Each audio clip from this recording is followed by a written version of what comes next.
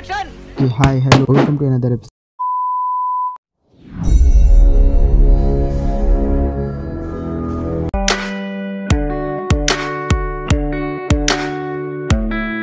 একদিন একটা টুনটুনি পাখি আকাশে উড়ায় টুনটুনি পাখি উড়াতে উড়াতে একটা এরোপ্লেনের সাথে ধাক্কা খেয়ে যায়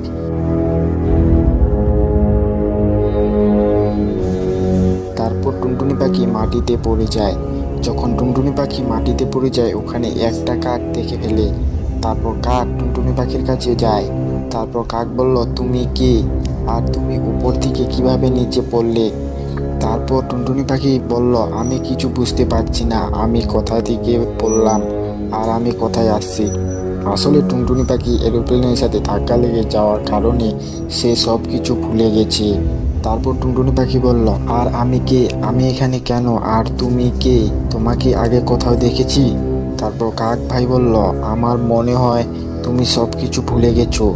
তুমি এক কাজ করো, আমার বাড়িতে চলো। তারপর টুনটুনি পাখি কাকের বাড়িতে চলে যায়।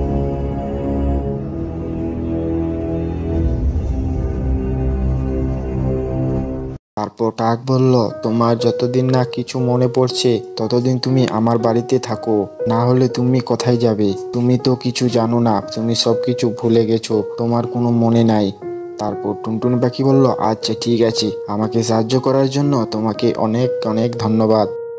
তারপর এইভাবে দুই থেকে তিন মাস হয়ে যায়।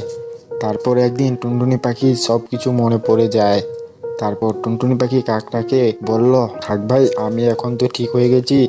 অনেক দিন হয়ে গেল, তোমার বাড়িতে আছি। এখন আমি বাড়ি যাই। কোনো দিন আমার বাড়িতে তুমিও এসো। তারপর কাক ভাই বলল আচ্ছা ঠিক আছে। আমি তোমার বাড়িতে কোনো দিন যাব। তারপর টুনটুনি পাখি কাকের বাড়ি থেকে নি- নিচের বাড়ি চলে যায়।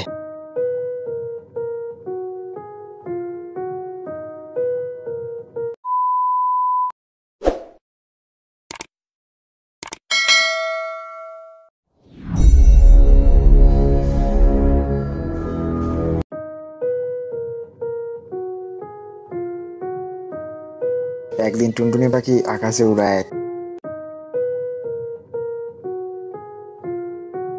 তারপর টুনটুনি পাখি বলল, কেন জানি না, আজকে আমাকে কিছু খারাপ লাগছে।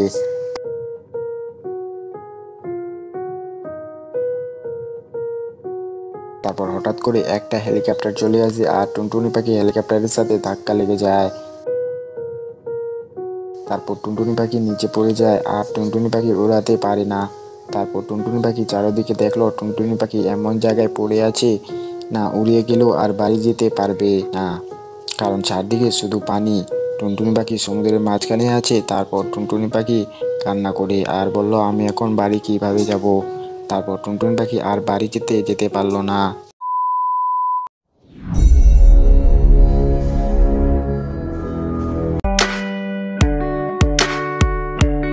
একদিন টুনটুনি পাখি আর তার বন্ধু আকাশে উড়ায়।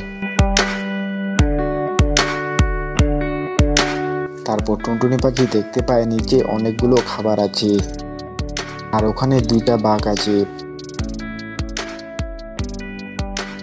তারপর টুনটুনি পাখি সেই দেখে তার বন্ধুকে বলল, বন্ধু এ দেখো নিচে অনেকগুলো খাবার আছে। চলো সব খাবার নিয়ে আসছি। তারপর টুনটুনি পাখি বন্ধু কাক ভাই বলল বন্ধু, এই সব তো ঠিক আছে, কিন্তু ওখানে তো দুইটা বাঘ আছে। যে কি করে যাব ওখানে? বাঘ যদি জানতে পারে আমরা খাবার নিতে এসেছি, তাহলে তো বাঘ আমাদেরকে খেয়ে নেবে। তারপর টুনটুনি পাখি বলল, আমার কাছে একটা দারুণ বুদ্ধি আছে। তারপর কাক ভাই বলল আচ্ছা কি বন্ধু, বলো, কি বুদ্ধি? আমি শুনি। তারপর টুনটুনি পাখি বলল, আমি বাঘের কাছে যাব। তারপর বাঘের সাথে আমি কথা বলব আর তুমি সব খাবার নিয়ে চলে যাবে। বাঘ জানতে পারবে না কে নিয়ে গেছে। তারপর টুনটুনি পাখি বলে চলে যায় এর কাছে। আর এইদিকে টুনটুনি পাখির বন্ধু কাক ভাই কিছু বুঝতে পারছে না যে এতগুলো খাবার কীভাবে নিয়ে আসবে। তারপর এদিকে টুনটুনি পাখি বাঘের সাথে কথা বলতে যায়। টুনটুনি পাখি বাঘের সাথে কথা বলে। আর এদিকে টুনটুনি পাখির বন্ধু কাক ভাই সে ভয়ে ওখান থেকে বাড়ি চলে যায়।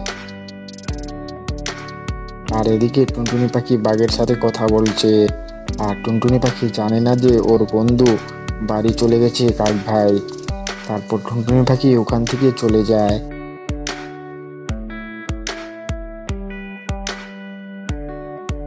আর দেখল তার বন্ধু ওখানে নাই। তারপর টুনটুনি পাখি বাড়ি চলে যায়।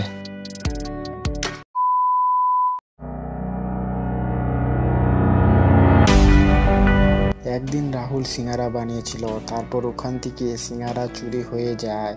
তারপর রাহুল বলল, আমি সিঙ্গারা বানিয়েছিলাম, কিন্তু সিঙ্গারাগুলো কোথায় গেল? তারপর রাহুল রতনকে বলল, তুমি আমার সিঙ্গারা নিয়েছো? তারপর রতন বলল, সিঙ্গারা? সিঙ্গারা নিয়ে নি আমি জানি না। তারপর রাহুল বলল, ঠিক আছে, আমি সিআইডিকে ফোন করছি। ওরা খুঁজে বার করবে কে চুরি করেছে আমার সিঙ্গারা। তারপর রাহুল সিআইডিকে ফোন করে, তারপর সিআইডি চলে আসে, তারপর অভিজিৎ বলল, তোমার নাম কি? তারপর রাহুল বলল, আমার নাম রাহুল। আমি সিঙ্গারা বানিয়েছিলাম, কিন্তু আমার সিঙ্গারা নাই, চুরি হয়ে গেছে।